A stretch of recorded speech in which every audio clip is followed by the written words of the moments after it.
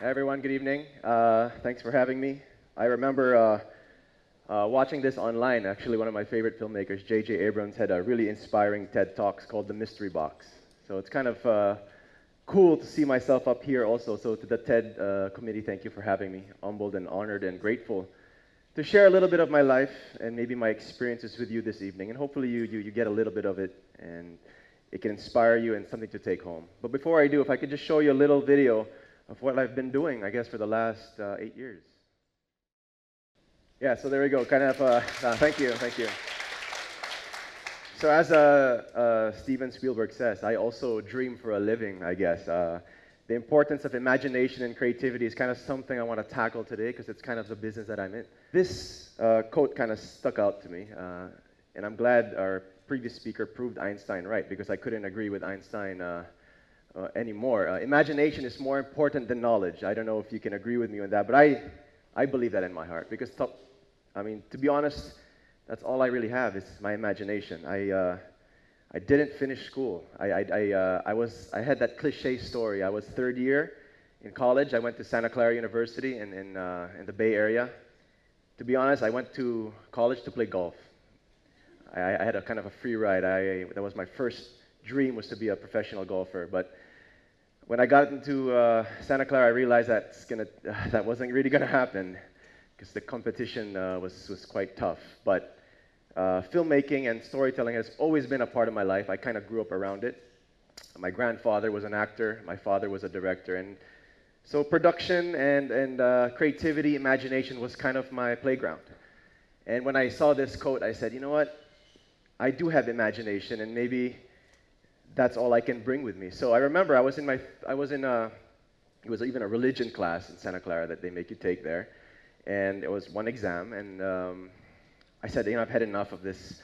I, I just couldn't take it anymore. The golfing wasn't going well. I wanted to tell stories, and you know, Hollywood was about a four or five hour drive south. So I was like, you know what? So on the exam, I actually wrote a goodbye letter to the school. I, I didn't know the question. I didn't know the answer to those questions. I didn't study for it. So I just wrote, okay, my name's Sir, I'm going to leave right after this exam. I was the first to finish because, you know, I probably wrote a paragraph. And I literally packed up my stuff, told my roommate, look, you got to rent my room out. Um, I'm gonna, uh, if, if you don't find someone to rent it, I'll have to pay for it. But I'm going to Los Angeles and I'm going to try to tell stories for a living. So this is around 2004. So that's why I really believe that imagination is more important. And then I'll kind of take you on my journey um, to uh, how I'm got to be in front of you guys uh, this evening. I ask a lot of people, uh, where has your imagination taken you? I mean, do you guys imagine? Yes? If you haven't yet, I uh, suggest you uh, start uh, after this uh, event. It's a wonderful, it's a beautiful thing, something you can do for free. And the reason why I find it so amazing, this word imagination, is it's taken me to places I couldn't have even imagined of. That's like the kind of the irony of it, right? Um, when I was younger, I met this guy. Um, you guys know this guy? E.T. I think I was, you know, six, seven years old when I recall the first time I saw this film. It was probably the first film I saw as a child, and my mother uh, confirms this. Uh, actually, if you go to my home, I actually have a life like E.T. there because it, it taught me to imagine. At seven years old, I watched this film, and it taught me that I can actually have a friend that's from outer space. I mean, how cool is that? Or I can have an imaginary friend, at matter of fact. And, and, and I did that as a child. And it just, that's when my relationship with my imagination just took off. And ever since I was a young child, I imagine and I imagine. And that's why I feel that taking up golf, I played golf at a, at a young age, it kind of was uh, helping me in what I do today, is tell stories and make films. Because if you know the sport of golf, actually, imagination and mental toughness is is, is, is what makes it go. You need to imagine that shot before you hit it, and kind of what I do now in, in, in telling stories and making films. So, yes, so I'm in the business of turning imaginations into reality. That's kind of what I do. So, 2004, I kind of dropped the books, went to Los Angeles, and for about two years, uh, I had to work. I, I, was jobless. So, I actually, uh, in the previous talk, I could relate that I actually worked in a blockbuster video because the perks there was you get to rent films for free. I remember Quentin Tarantino said, well, he, of course, he uses profanity, but I won't repeat what he said. But he goes, you know, F film school. Just watch movies. Just watch films. That's your education right there. And I took that to heart. I was like, wow, just watch films. So I said, you know what? Go to Blockbuster, get a job there. In return, I get take home about five free movies a night. And I watched everything from horror to romantic comedies to, to B movies. And I just educated myself that way. And it really set a solid foundation to kind of what I do today, turning my imaginations into a reality. And that's where I kind of encourage a lot of people because I've met a lot of people that, that talk, but I always like show, show it to me. And that's kind of the hard part because we all can imagine, a lot of people imagine, but showing that imagination to an audience is the real challenge. It's not easy. I wish I could talk to a, to a, a, tech person out there and create an app that you can just plug into your brain and then it just projects what you imagine. And you know, I'd, I'd make so many films, but it's just not the case. But maybe 20 years from now, there, there would be something like that. Uh, you never know. 2009, so from 2004 to about 2009, I, uh, I was working. I was doing all these odd jobs from a production assistant standpoint to apprenticing for cinematography. I then got into advertising, started telling 30 second stories. Uh, I didn't want to really get into advertising, but it, it was opportunity, so I took it. It led to this, my first film in 2009. Not many people know about it because uh, one person just called me up and said, Hey, you know, I like your commercials. I like your TV commercials. Would you like to do a film? I said, Sure. And when I put the phone down, I was like, How do you make a movie? I mean, all I know is how to watch them. And I successfully made a journey home. Uh, I, I, would like to think uh, it was a good film. Some people do say that. But when I watch it today, I kind of cringe, you know, because it's like, what was I thinking back then? But, you know, every project you only get better. After I made this first film, I thought that was it. Hey, I'm a movie director. I'm going to do films for the rest of my life. But no, no, nobody called me. I, I was still doing TV commercials, which is fun, which, which kind of uh, paid the bills, and I was enjoying that. But I wanted to make cinema. I wanted to tell stories. I wanted to put what was in my mind, uh, and I wanted to share it with you guys. So that's what I had to do. In uh, 2011, I, I had to produce, I had to direct, and I also co-wrote a film called Thelma. I had to take action. No one was calling me up. I thought I had made it with the first film, but apparently that's not how it is.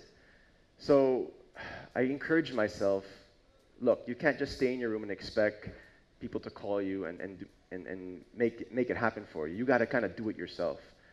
So I was imagining all this time, but I just had to do it. So I put this imagination on paper. I uh, talked to some people to help me produce it, and boom, Thelma came out in 2011. Uh, it was a, really challenging uh, but uh, uh, fulfilling film because uh, fortunately, it kind of validated my imaginations. I took home, we took home a lot of awards. We won in Mexico, we won in, in Madrid. And my, my lead actress here won some pretty, pretty heavy Best Actress awards. So it kind of validated that, you know what? I can actually use this imagination thing. This can actually make a life for me. And I still pursued, I kept going and I kept going. Of course, I can talk longer about this, but we only have about 10 minutes here. So, so after Thelma, I, uh, I pursued and I pursued and I made a, uh, another film. I didn't direct this one though. I, I just produced this. And actually, Transit was, if ever, that, that, that turning point in your life where, um, if you all have one, Transit was it for me. Um, I emptied my bank account. Nobody wanted to fund this film. I had nobody to partner up with me. So I emptied up my bank account. I uh, even put my apartment and my car up for, uh, for mortgage or and I made Transit. This was the first time filmmaker. She was a young lady, Hannah Espia, and people thought I was crazy. Why the hell are you investing your life into this? I think she was about 24, 25 years old. She says, I just believe in the story. It's a story that must be told. And long story short, for about a year, we, we, made the film. It premiered in a Cinemalaya Film Festival. I think it took home pretty much every award that evening. Uh, it became the Philippine entry to the Oscars. We didn't get the short list, but it got me my life back. I got to meet this gentleman named Dean Devlin, uh, who acquired the film and put my life back on track in terms of financial uh, gain. It was, uh, uh I said we need to have a photo. Uh, Dean Devlin is the producer of Independence Day, Godzilla. He has a movie called Geostorm coming out. He produces Librarian. So these guys, uh, Hollywood uh, big shot, if, if, if uh, how you call it. Uh, he watched my film through a friend of mine who worked in Sony Pictures, and he emailed me about three weeks later saying, I don't know, a lot of people in Hollywood like to swear, so effing great film, man. We need to talk. Okay, yes. I literally flew to Los Angeles. I met him, and this is like, you know, being picked up by the limo. It was just like literally from like sweating in coffee shops in Manila, imagining the story. And we went to Tel Aviv, Israel to shoot. We were like 20 people, crazy people, to now this uh, Hollywood uh, producer's office. We, we, we premiered in several festivals. And then we, uh, we were the Philippine entry at the Oscars, and you know, he acquired the film and he showed it all over North America. So, you know, Transit was a really uh, turning point for the company as well, the company that I started with a, with a good friend of mine, uh, Mark, but uh, he's, he's not here now. But we were just two crazy kids. And I think you need to be a little crazy in this industry, and I guess maybe in the world. I mean, there are some crazy people running countries now, right? So that's a different talk. For every imagination, expect challenges. And I cannot stress this enough because, you know, when we're in our room, aircon on, we can imagine about the good life. But I think for every imagination, there's three or four nightmares that want to break it down. And you just got to be strong. You just got to be strong. Uh, you got to be passionate about what you do. And if you are passionate, I always say I look for passionate driven people because passion kind of separates uh, the people that just say they want to do it and people that are passionate about it because when the going gets tough, the passionate people hang on. And I like to work with people like that. Moving forward, I, uh, in my advertising days, I got to work a lot with Manny Pacquiao, uh, considered one of the best boxers of all time, boxers of all time. So let's just talk about the boxing. I met him on a lot of commercial sets, and one day he told me, Paul, can you make a film about my childhood? And I said, Of course. And I, my challenge here was, of course, putting his story on script, which is just, you know, cinematic already. So we had to choose a portion of his, of his life. But as I was moving forward, uh, I did have some investors in this because the, the, the, budget was quite huge. A lot of the investors asked me, Do you have a contract with uh, Manny Pacquiao? I said, He told me he wanted me to do his film. But that ain't a contract. I mean, like, he signed. I said, You know what? Oh my God, I've been working for about a year and I don't even have a contract with the guy. Who knows? Maybe he forgot that he told me this, right? I don't know. So, long story short, I flew to General Santos City with a contract in hand. I had to talk to several of his lawyers, and uh, I had to go back to Manila, back and forth, back and forth. Until finally, we got that contract signed.